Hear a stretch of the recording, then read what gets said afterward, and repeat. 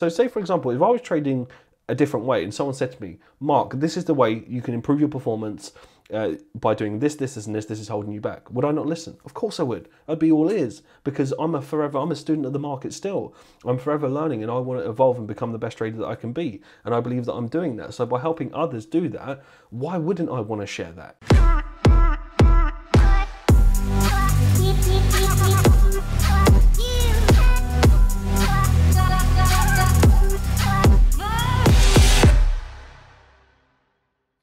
Hey guys, hope everybody's well. Welcome to episode seven, and I really hope you've been enjoying these episodes. So, for those of you that haven't already, I highly recommend that you go check out the last episode, which is five tips to becoming a more successful trader. These are some really, really key details. Love the feedback and the comments so far, and feel free to leave any suggestions and we'll make a video on it. So in this episode, I'm going to be talking a little bit more about my previous journey. As you can see from the title, why is why I believe support and resistance is holding you back. It's because it held me back massively.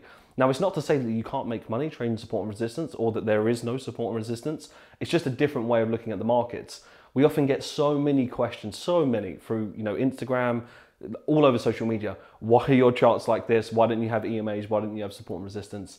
And how do you structure your charts that way? Well, what happened to me in my previous history of trading, I used to feel like a lot of trades would hold me back. I would cut trades short and I didn't really know why. I would just kind of say, well, there's a support there, so I'm just going to close it here, or there's a moving average there, so uh, surely it's not going to break that, etc. And I'm just going to close it there. And then I would go back and back test. It was only when I started to look look at that and realize, well, that trade, that trade, that trade, and so many positions would then go on and bank 10, 15%, etc. And I would feel like, well, why am I closing it there? Is this an imaginary kind of barrier? And I've always incorporated patterns, right? So I've traded patterns since I was 18 years old. So patterns has always been a big thing. And what helped me is to kind of strip those things back and focus on the structure, the patterns, how we're looking at it. So it's not that you you can't do well out of it because I still found good results from it.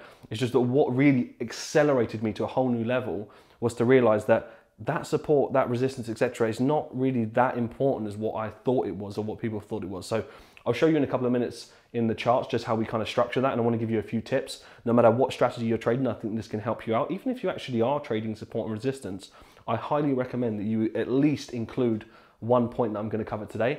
I think it's going to help you out. Currently looking at pound CAD at the moment. If you remember from the last episode, we were short on pound CAD and this was actually a trade that we just, this is quite fitting actually because I just missed this position. So we did take 4.9% on this trade from pound CAD to the downside. We did take another 2% on that scaling as well. But overall structure, it's still looking good. And this is a great example of this particular structure. So as we can see pound CAD here on the daily chart, so as you can see pound CAD with this particular structure, what you have to realize as a trader, the market wants you to be patient. And often when you rush things, it's from that fear of missing out. And the reason why you have the fear of missing out is because you somehow think that it's that one position that if you don't catch it, you're not going to get the trade, right? But the truth is, there are so many positions within the market. You just have to keep things as simple as possible and you have to plan for the probable and the possible, which was what I was talking about in the last episode, right? So within this particular structure, we know that from the real percentage, the real money is made once we've broken this particular structure all the way to the outer structure. Now within that, is there just going to be one position or is there going to be multiple? That's what you need to realize as a trader. There are tons and tons of opportunity in the market. So when it comes to something like this, I literally essentially missed this trade by 15, 20 minutes. It completely dropped to the downside. Lovely entry at the top there. Has some good candle shape formation at the top of the structure. Very, very clean. So this one would be running, I believe, about 4% at the moment. But again, there's going to be multiple entries. So it's about not having that fear that, you know, that's that one trade. Think of it like this if you thought that there was only one bus a day, right, or one train a day, what's the chances of you having the fear of coming, going there early or getting there late, right? Because you think that there's only one, so you know I need to get there before, etc. And that's often where you get hurt. But if you knew that there was 10 trains a day or 10 buses a day, would you then have that fear that you're not going to get to your destination, etc.? No, because you know there's multiple ones that are always going to be there for you to get to where you need to be. It's the same within the markets once you realize, and that comes from backtesting, guys and girls, you can't just, you know, develop that mindset overnight. You need to see it on a subconscious level that, wow, well, usually within that structure, there's at least three, four, five setups. So why am I forcing that one position? Is it that one hit wonder that's going to make me successful? Definitely not, guys and girls. So remember, multiple, multiple entries. But pound CAD, really nice trade. Falcon community, very likely that you took that really clean entry. And again, a lot of the bigger percentage is going to be when we completely break, break that structure and there will be multiple entries. So guys and girls, I'm just going to head up to the charts now. Sometimes I like to come down here and, you know, change a bit of the scenery and actually stand up. We're often in our desk all day long, just sitting down. I'm just gonna head up on the charts. I'm gonna do a bit of a screen share and show you what I'm talking about. And remember, there's gonna be a few tips that I think that will massively help you out. So let's go take a look. How's it going everyone? So I just want to dive into the charts now and just explain to you quite briefly just how I made the transition and what used to happen. So it's not to say that it can't work or anything like that. Uh, it's actually not to to even uh, suggest that, that you can't do it that way because I actually have friends and I know people that trade uh, this kind of way and they've done reasonably well. Personally, did I feel like it held me it held me back a lot? Yes, massively. And that was reflected in the data and when I really started to understand the power of how to utilize patterns. So let's get into it with a few examples and hopefully you take some tips away from that and you can reflect on it on your own trading. So I've got three examples here. I want to start off with uh, pound dollar, then do dollar yen and dollar CAD, give you an example. So starting off with pound dollar, quite simply, this is of course not how our charts look, but I'm just giving you a brief introduction. We actually have some free training on this. I already highly recommend that you go and do that because I, I completely break it down. The link is in, it's in one of the bits on YouTube in the description, I believe. So go check that out if you haven't already. And if you can see here in pound dollar, so we're here on the daily chart. So let's say, for example, we've got this particular structure. It's natural to have things on people's charts like support, resistance, support you can see sometimes what you're going to find is that it, it bounces off to the T. You're going to think, oh, that exactly is that resistance, or this is exactly support, etc. So you need to ask yourself the question. It's not that it doesn't work and it doesn't reject off of it. I mean, we can all agree it rejected off of that resistance, if you like. But you need to ask yourself if you're only focused on that and you believe that it's rejecting off of that, how do you know how far it's going to go? Are you going to close trades down short? So let's say, for example, here on the daily, we've got pound dollar you can go back in our old webinars and see us talking about this exact example. If we're selling from here, which we did, this was a fantastic trade, what are the chances, and ask yourself and be honest, what are the chances of you closing the trade down here at the daily 50, daily 50 EMA? Would you hold straight through that, or would your mind think, well, if we look on the uptrend, we kind of just pierce through it, but we keep going back up, we keep going back up. You're going to see it as some sort of significance what would make you believe that that's going to now just drop to the downside? Do you have anything to support that? Well, the difference was for me is that I would take similar trades like that with patterns involved, which I'll show in a second. And what would happen is that I would still take this as significance. So I would still take the trade based off of a pattern, but I would think, well, that's surely that's going to stop around here, or that's a good place for me to set a target, right? And then I would see just this, just drop straight through and think, why didn't I hold that trade? And it wasn't just that, you know, the whole hindsight thing, just why didn't I hold that trade because I felt like I should have had more at the market. But there, there was clearly something that I didn't know, a lack of information or a lack of knowledge that would have been very powerful. So, for example, if we now take a look at what I actually see that as and what I was showing everybody in the community at that particular time, is that let's say you held it here and you happen to have taken this, of course, most likely on the lower degree, let's go to the one hour chart.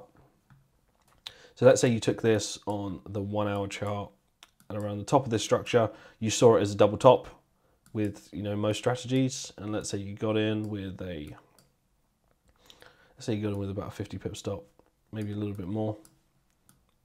Let's call it 55. Let's call it 60 to be conservative. Let's say you got in with a 60 pip stop at the top. It's not too aggressive, but it's not too wide either.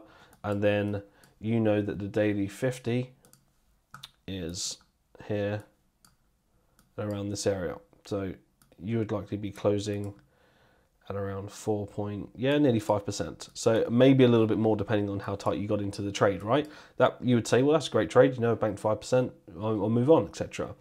What if there was a probability? What if there was a 90% probability, 90% based off of, you know, it's reflected in the data. This isn't my opinion, this is the data. This is probability. What if there was a 90% chance that this is actually your first target? right? What if there's a 90% chance? What does that change? Well, that's a difference between 5% to nearly 10%. So just double, just by knowing. So is knowledge not power? Having that knowledge, is that not powerful to have? So you need to understand why. Why is there a 90%? Now, of course, that comes within learning the strategy and things like that.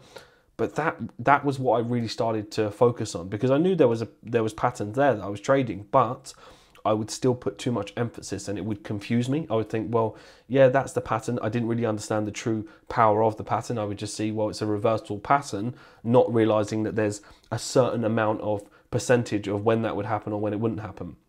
So probability. So that's just on that position there. Bearing in mind, we can of course scale into this much tighter, but we're just looking at double just based off of that. And if you can be honest with yourself and say, oh, well, I wouldn't be put off by the EMA, well, then you're probably lying to yourself because you would. If you're trading that way, you're not holding it through that, right? You're probably thinking, oh, there's a bit of a rejection on the four hour or the one hour, and then you're likely closing it down. So if we go down to these areas here, you'll probably close that down, right? Now let's take a look at how we would structure it. So let's remove this. We're still seeing it as a double top, right? We can't argue with that. But rather than having a, horizontal line all the way through, what we're doing is we're using a ray line. So essentially, this is just marking on the two most previous points. This is the most relevant bit of data. So although it's tempting to, you know, go to in 1984 and have these trend lines and it bounced off 50 times before, etc. But the truth is, pattern separation and focusing on the most accurate part. This is the most accurate bit of data that you'll ever get. So let's strip this back and for now, let's actually just hide the EMA. So if we hide it, and now we've got just raw price. The best thing that you can do as a trader is understand how to read raw price action and then add in the things that you want. So what I started to do is I started to strip back things like support, resistance, EMAs and realized I don't actually need that. There's a much more simple way and that would maximize my profit without all of the confusion and the clutter. So then I would take something like this, and this is a very just a clear, a one, two, three touch ascending channel. You can see here's the low, this point here. So now you can see this for what it is. You have the move up, the correction. So essentially you have the impulse, the correction, the continuation. So impulse, correction, continuation. And you have a one, two, three. And then you have a one, two, three. So essentially, now we're building that case, and it's the same reason, but because if this is impulsive to the downside and we're breaking impulsively, especially on the on the daily chart, so if we go to here, so if we go to the daily and look at that, if we're breaking here impulsively, which we did, which you can see is the reflection here, we even take that data right back. So as you can see, there's momentum there. But can you see how if you had support resistance and the EMAs and Fibonacci and all that kind of stuff, it's not that it doesn't work or anything like that. It's just that sometimes it can be confusing and it can hold you back and then you, you emotionally close, close positions down. So as you can see, just clear momentum there. If we just go candle by candle, next daily candle, we've broken impulsively enough. Now there's a 90% probability that we're going to get to this low. There's a few other factors that you need to understand, but of course that's by understanding the full strategy and things like that. But just from a simplistic point of view, what does that change? There's now the difference of you holding a trade from either closing it around this area to here and much further, right? That's just on, on the basic level. And if we go into the one hour chart and we're taking a look at, let's say, that particular trade from the top, We've got so many typical Falcon entries within here. Again, multiple entries. You should never rush positions. There's so many. We're taking this at the top of the structure. And what we're actually doing is anticipating, which I'll do a whole other video on this, which is mass psychology. We're anticipating this to break the high. So when we're looking at it from this perspective, let's say we're getting in with about a 40 pip stop right at the top, but a 40 pip stop, and then we are taking this to the downside. So you usually would have closed around these areas for maybe six, 7% and now we're holding for 15. That's the difference. So, so what is the difference here? Well, we've both seen the same thing. You're both selling, but you're closing your trade short. So sometimes the difference between consistency and not is actually your ability to understand where the market's actually going and not cutting your trade short just because you think there's support or resistance in those areas. So that was the game changer for me. And now I've seen this with hundreds and hundreds of people do exactly the same thing. There's no coincidence, guys and girls, that people that have been struggling for sometimes years come into Falcon trading that type of way and then coincidentally now start becoming consistent. That's not a coincidence why that happens. And what fascinates me even more actually is traders that are consistent trading ways of support and resistance. So let's say there's a trader, they do well, they bank, you know, five, six percent, sometimes 10% per month, because of course it can be done. Those people that come in always double their returns. I've seen it happen so many times. So if someone's already consistent, you can already read price. You're normally quite good at reading price anyway. And just by understanding how we scale into the market, just by understanding our, our probabilities of not cutting those trades short, it always increases people's returns. So that fascinates me as well. And that's why I'm a big believer in it. You know, if you as a trader right now, so say for example, if I was trading a different way and someone said to me, Mark, this is the way you can improve your performance uh, by doing this, this, this, and this, this is holding you back. Would I not listen? Of course I would. I'd be all ears because I'm a forever, I'm a student of the market still. I'm forever learning and I want to evolve and become the best trader that I can be. And I believe that I'm doing that. So by helping others do that, why wouldn't I want to share that? If you, even if you're already consistent, why wouldn't you want to improve your results? And the only reason why you wouldn't is maybe because your ego is involved, right? And that's so important. Remember why you started trading in the first place. So that's pound dollar, keeping that simple. And then of course, if you go back to our older webinars, there's a reason why we held trades much further beyond this. But even just looking at that tiny little pattern is the difference between you adding an extra 7 8% to your returns. This is another example. Of course, like I said in the free training, you can it was fully broken down, so you can see that. If we go to dollar yen, dollar yen is a prime example, bigger structure, right? It's not just pound dollar. This is across the board. If you're looking at it like this, especially back here, and you're looking at you know resistance, resistance, support, support, etc. And we're just breaking here. There's particular things that we do within Falcon, especially from a pattern perspective, that helps us to understand that is that important. Ask yourself the question: if it broke, broke this, are you reacting to the market? So what I mean by that, if this breaks, let's say for example, would you see that as now a break? And be honest, you can in the comments below, would you see that as a break and a retest? Is that what you'd be thinking? Right? Would you be thinking this? It's broken, there's the support, the previous support is now going to be new resistance, that's what you'd think. And I used to think exactly the same way. And then now I'm going to sell that, right? What if I told you, and you can see this in our, our older webinars, you know, I haven't got a crystal ball, we're doing this before it happens. What if we expected this to happen? What if we actually expected this to break it in the same structure and then still move to the upside? That is powerful once you understand those probabilities and those possibilities. So essentially, what happened and what we were looking at with the market is this. So if we take that back, this is just a typical structure, three touch pattern here, as you can see. We've got a one, two, three with that particular structure. And we ask ourselves particular questions to know something's changing. This particular structure is an expectation. So we're expecting this to happen. That's the difference. And when we, when we remove it, you can actually see things much more clearer. So we're expecting this to happen because this is just one big continuation. Essentially, if you're following, this is the impulse, this is the corrective phase, and all that happened here, yes, it broke a little bit lower, but that was just an extension of the correction to move to the upside to at least to these highs here. So it's no coincidence that this keeps happening. And I think that what, what really helped me is that, again, I would just always hold trades to, I wouldn't hold them long enough, put it that way. And that would be the difference. So let's put this into perspective. That's just dollar yen on a bigger scale, of course. There's, there's so many examples that we can show you. We go to dollar CAD. But think of it like this. Let's say you bank 5%, right? You bank it that way. And then you take just out of probability. Losses are always inevitable, right? It doesn't matter how good you are. You then take a few losses. Imagine that same trade if you could capitalize further. Imagine that same trade you could bank 15%. This isn't risking anymore. You're doing you just know more about the market in that sense. Now, it's, it's not about it's not the more that you know about the market, the more successful you'll be, but you still have to know a high level of technical skill, right? So when you're looking at that from perspective, let's say you bank 5% normally, then you take two losses, well then you're a net 3%. Now take that same trade that you would have banked 5% just by knowing the uh, extra bit of knowledge of patterns, etc., and removing the clutter, you now bank 10% or 12%. Is then that 2% of losses that you take after going to affect your mindset as much? Or are you going to start to see it for what it is and realize, well, hold on a minute, well, 2, 2%, I'm already up 10%, so I'm still net 8% you'll soon start to realize that your psychology is different as well. So not only does it help you capitalize on more trades, it actually helps with your psychology even further. I mean, looking at this particular trade, which it will help you so much more. So let's say, for example, you can see here on dollar CAD, you can see here in November that you've got one, two resistance there. Would you expect that to be resistance? Maybe. Are you asking yourself questions like, well, when it gets to this resistance, uh, then I'll be interested? Are you saying things like that? Or do you know what the possibilities, what the probabilities, and what's likely to happen? What if we were to say that we expect this to break? I'm expecting this to break this out, and you can see that in the webinars again. This is nothing we haven't already done. So we're expecting this to break above and then drop back down. We're expecting it to get to this low before we create a deeper correction, right? So are you are you let's say for example that you do end up seeing this break back below and then it pulls back, there might be a moving average there, etc., and you're looking to sell. Are you going to hold it beyond this support? And be honest. If you're not, then why is that? Is there something else that you need to know?